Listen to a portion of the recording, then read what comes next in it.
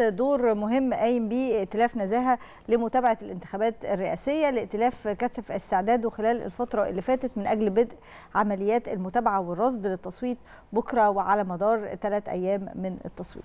مؤسسات الائتلاف هم سبعة وعملوا جهود قوية جدا عشان يكونوا جاهزين لمتابعة أيام التصويت. تفاصيل ومعلومات أكتر عن هذا الائتلاف ومجهوده هنعرفه من ضيفنا ضيفتنا اللي منورانا على التليفون دلوقتي الأستاذة مارينا سامي المنسق الإعلامي لائتلاف نزاهة لمراقبة الانتخابات الرئيس الرئاسية. أستاذة مارينا صباح الخير. صباح النور يا فندم. يا أهلا بحضرتك. لو نعرف السادة المشاهدين أكتر عن ائتلاف نزاهة عن مما يتكون هذا الائتلاف ومهمته خلال الفترة القادمة. طبعا أهلا بيكم واهلا بضيفك الكريم.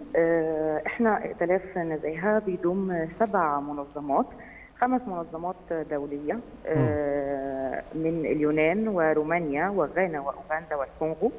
ومعانا منظمتين مصريتين اللي منها مؤسسة ماعد للسلام والتنمية وحقوق الإنسان ومؤسسة شركاء من أجل الشفافية.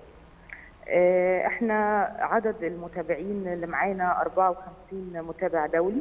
تم تسجيلهم لدى الهيئة الوطنية للانتخابات ممثلين عن 34 دولة ما بين أوروبا وأفريقيا والمنطقة العربية.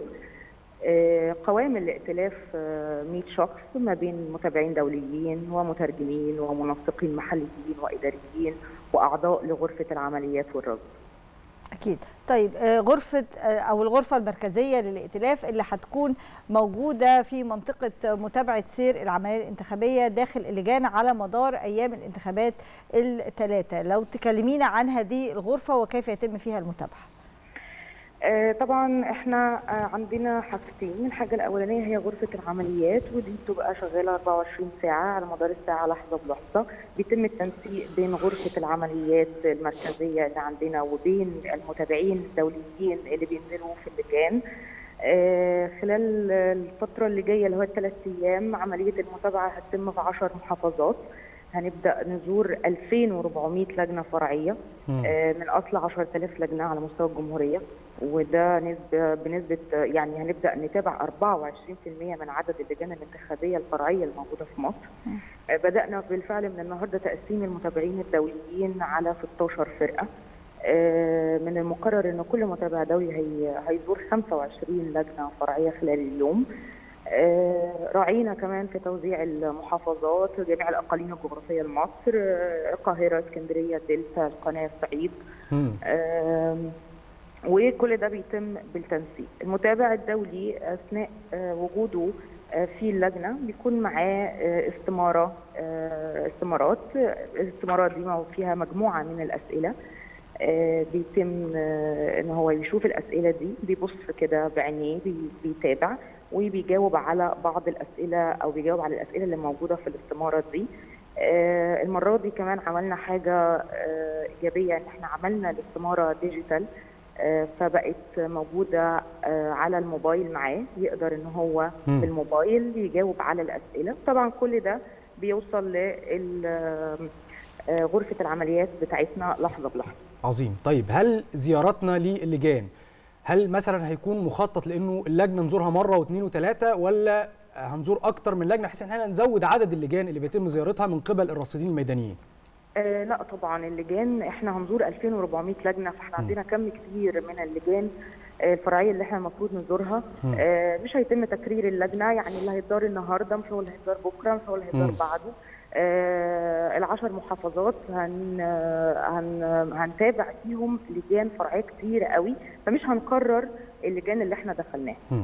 أكيد. لو تكلمينا عن دور الراصدين المركزيين داخل اللجان ومرحلة ما قبل دخول اللجنة نفسها.